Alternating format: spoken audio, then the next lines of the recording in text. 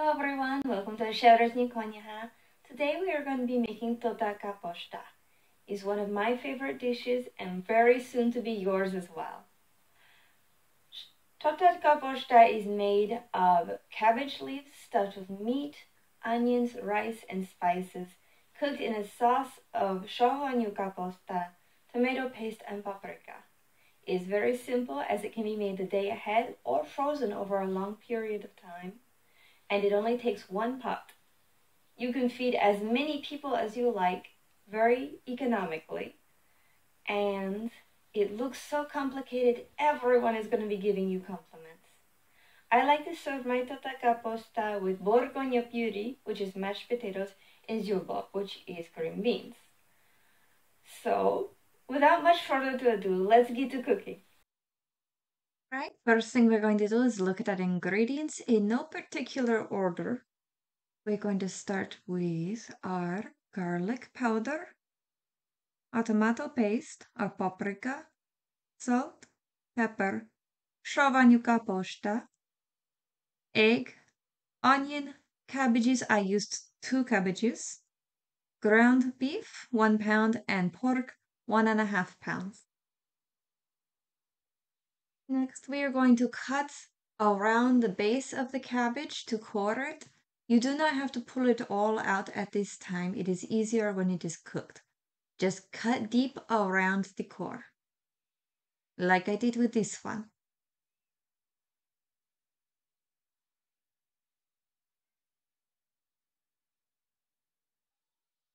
Alright, once your water is boiling, you're going to want to turn it off because you do not want to overcook your cabbage. You just want it to become softer.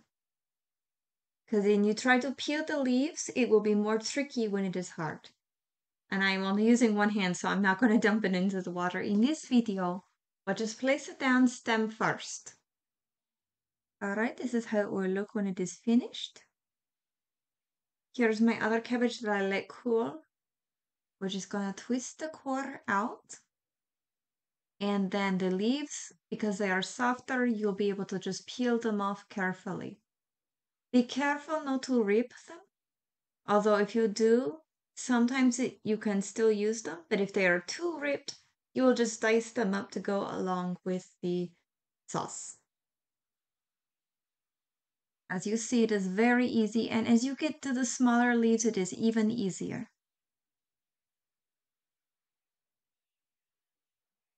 Okay, when you get to the tiny little Brussels sprout of a cabbage, you are going to want to dice it up and add it all together. This will go with the savanyú káposzta when you are making your sauce. This is why it is not too shohanyu. You do not want only the sauerkraut or it will be too bitter. You want to add enough of the regular plain cabbages.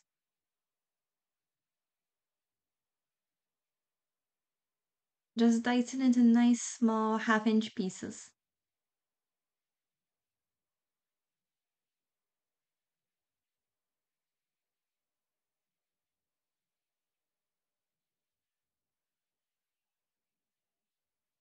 And do the same with the outer leaves that will be too tough to eat as they are.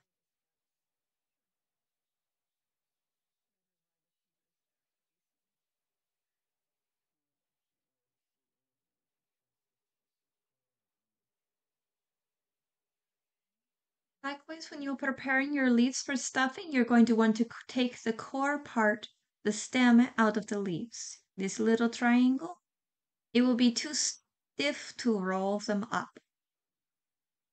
That is how you want your leaves to look, like lily pads.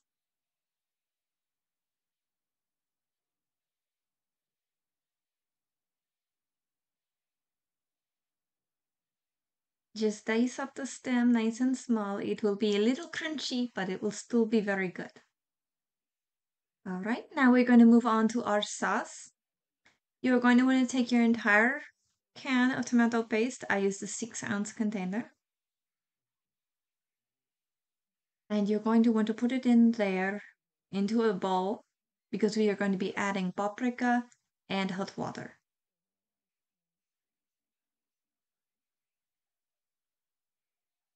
Now you need to get it to the right consistency, so you may need more or less water. I used about a cup in total because I kept adding to it. And about three tablespoons of paprika we will be adding to. But do not add any salt or pepper to this yet.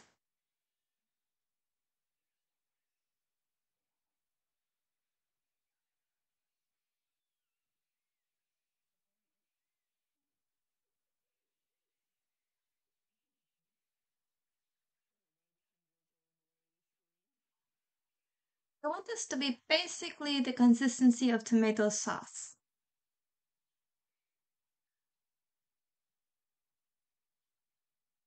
So after stirring it with the hot water, you may want to add more hot water, but you definitely want to add paprika, at least three tablespoons. I added more after the screen was off because I really like the taste of paprika.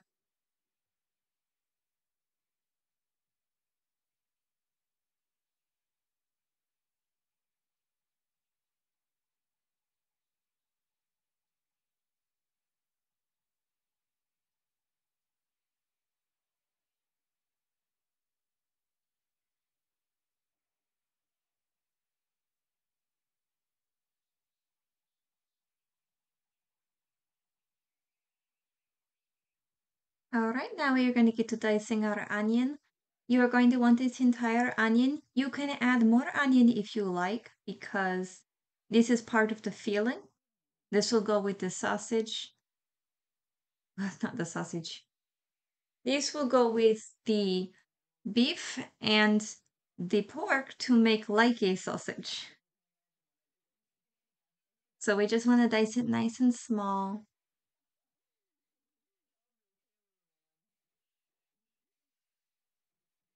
And yes, my knife skills are not beautiful.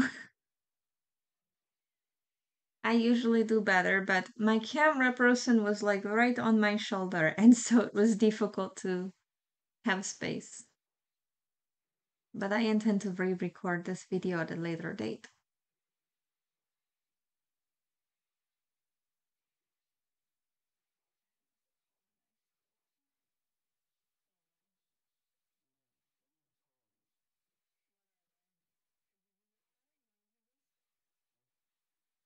Make sure it's nice and fine because you do not want a stuffed cabbage roll that is nothing but onion.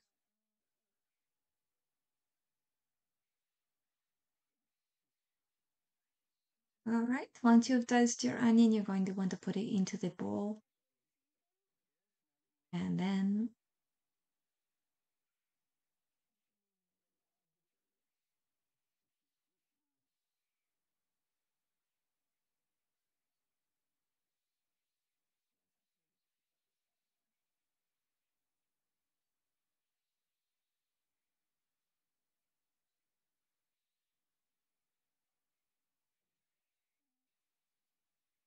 And then you will add your pound of hamburger meat. You can add more or less meat depending on how many people you're feeding, or you can add more or less pork. You could even make it completely beef or completely pork according to food preferences or allergies.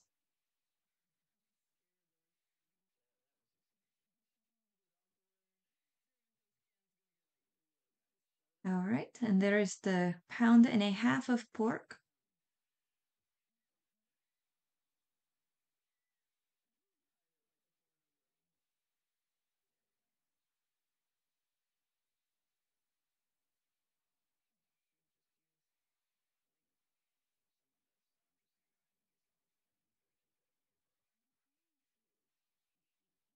And then we're going to want to add our egg.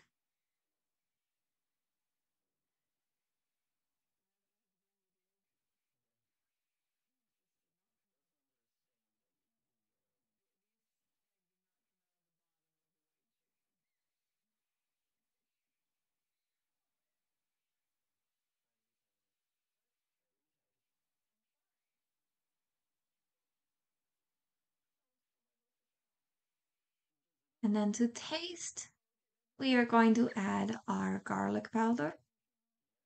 I think I could have put a little bit more garlic powder in it than this. We're going to add pepper to taste.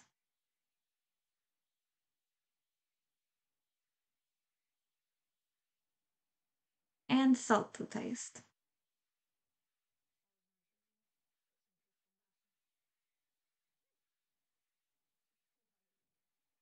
Then we are going to add again my favorite paprika. I did not put as much in here as I should have in this part of the video. Later, when I had mixed it all together, I smelled it and realized it needed more paprika, so I added more. So I would say give it at least a tablespoon and a half to two tablespoons. And do not be like me and forget to put in the rice. I had to go and wash my hands so I could measure the rice.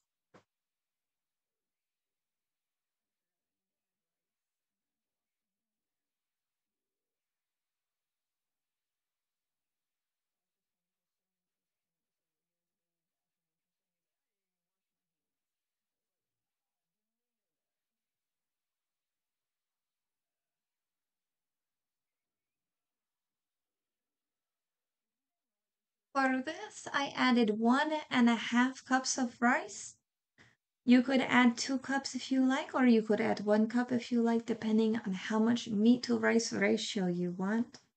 Remember, this helps to fill your sausage mix. So if you have a lot of people and you don't have very much meat, you can add more rice.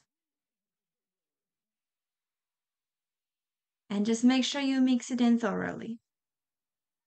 Now we are going to make the bed for the cabbage rolls to lay on. We're going to use some of that diced cabbage I showed you earlier. And then on top we will put the savanyú káposzta, the nice fresh sauerkraut that we made in a video just a few weeks ago.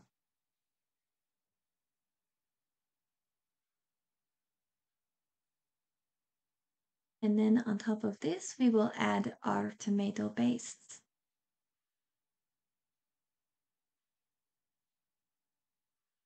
My mother later said this looked like a murder scene because of the red sauce, but it will taste delicious. And we will set this aside so that we can stuff our first cabbage rolls. You're going to want to stuff your cabbage with the filling in this little almost sack at the end of the leaf, not where the stem is, so that you can roll it up like like this and make sure it's nice and firm and there is no air pockets. And then just dice your leftovers and put them in with the other cabbage that you've diced because we will need another layer. And I will show you how to fill these several times. It's important that you roll it nice and tightly and do not overfill it because when it is boiling, it may explode.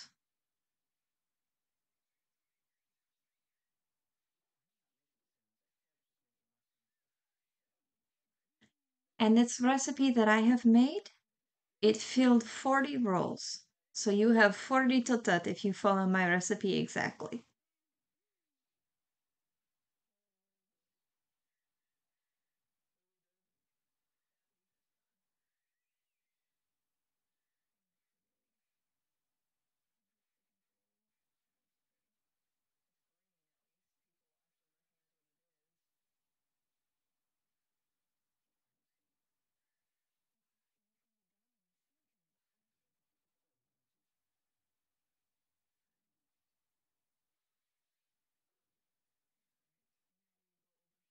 All right, now, why did I put the lid on this? You just want to nestle them in nice and firmly. You don't want any airspace between them. And it will look like this when we will put a second layer of first the chopped up cabbages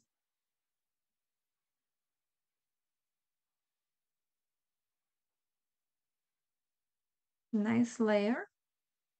And then the Chauvigny cabbages.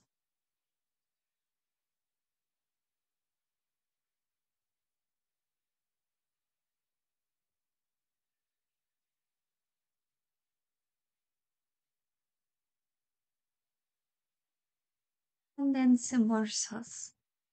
And this made four layers, four floors of totat.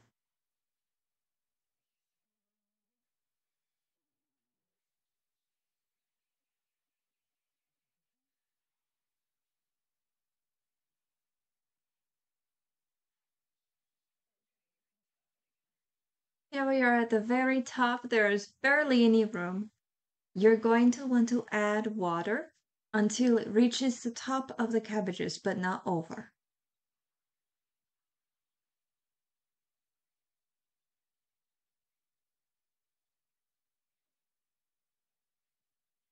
Okay, and then you're going to want to put a lid on this and boil it for about two hours. This is the finished product, and I'm taking the rolls out to lay in the into the pan and save this cabbage. Once all your cabbages are out, you're going to want to take the sauerkraut and chopped cabbage mix and strain it. This will be for our sauce.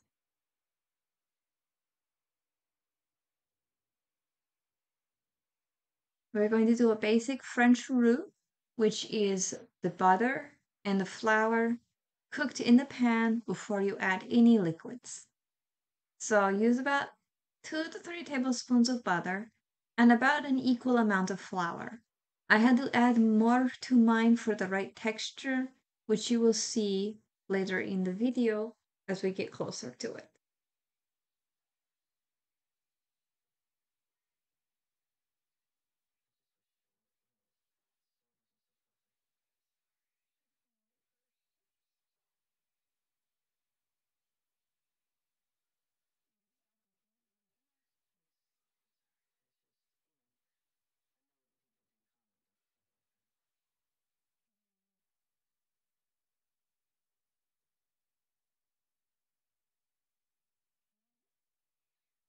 Make sure your butter is melted.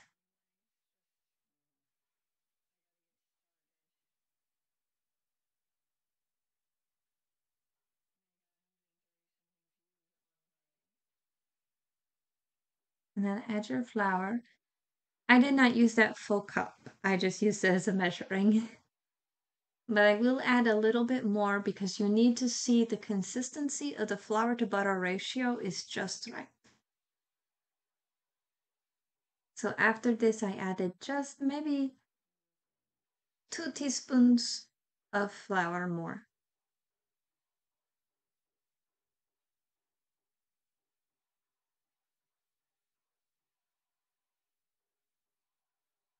This consistency is good as well, but I wanted a thicker consistency because we have a lot of sauce. And I like a thicker gravy-like texture.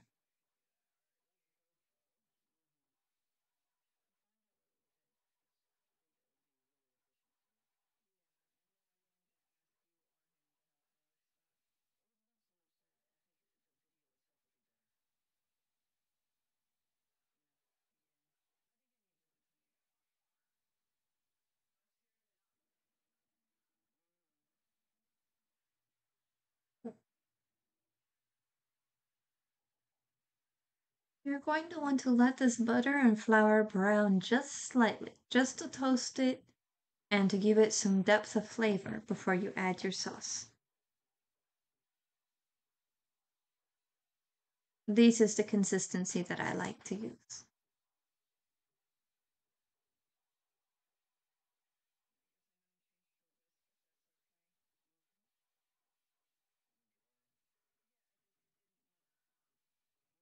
And then we will switch to a whisk because we do not want any lumps in it.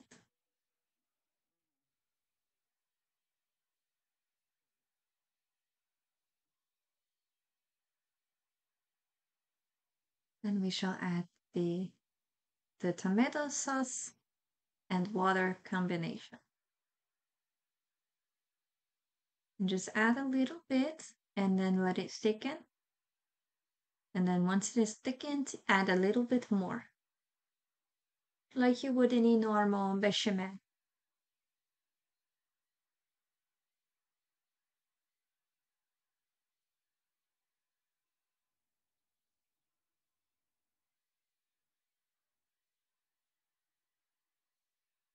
Also, you will want to taste this once you get it to the right consistency and make sure it does not need any more salt or pepper or garlic.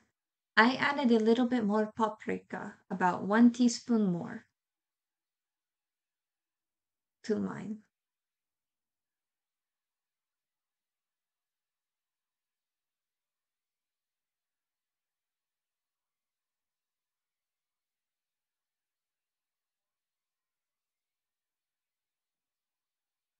And then once you get it finished to the right consistency, you will add your cabbages and just stir all together till it is nice and warm.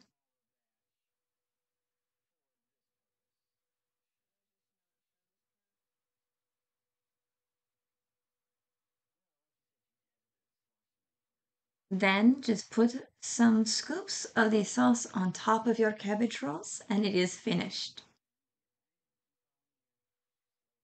This is the way that I like to serve it. This made about 13 three cabbage roll servings.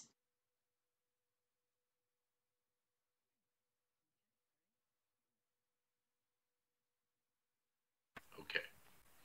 All right. I am here for a wonderful lunch. I am about to be a taste tester for this is a Hungarian stuffed cabbage, káposzta, and I've got with it some sauerkraut, and there's mashed potato, and I've got also some very wonderful uborka salata, it's a Hungarian sweet sour salad. And I'm going to taste all of this, try each bit,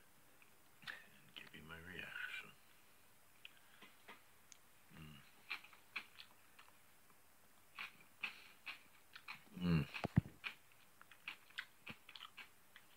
Uborka salata is perfect. It is very good, very just the way it should be. Sweet with a hint of the vinegar.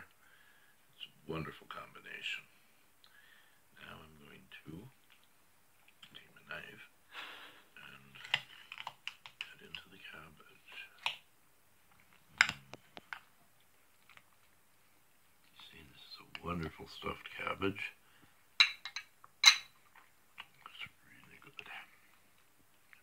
try some. Get a piece up. Here we go. Mm. This is very, very good. You can taste the